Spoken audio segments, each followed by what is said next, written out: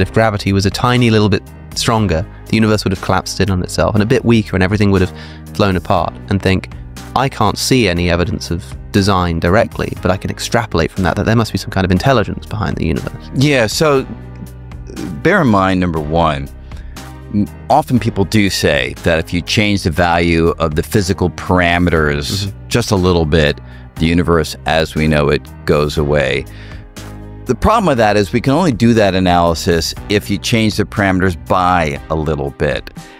If you allow the parameters to change by a lot of bit, not a little bit, and you allow many of the parameters to change simultaneously, nobody can really say what that cosmos would be like. Hmm.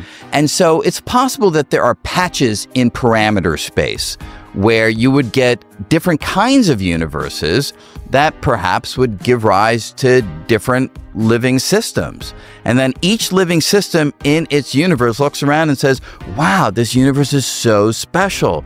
It must be that there's some kind of, you know, grand design that got us here. But they're all saying that in their own parameter space because they're all making this mistake of only looking in a small neighborhood around the point in parameter space where they exist.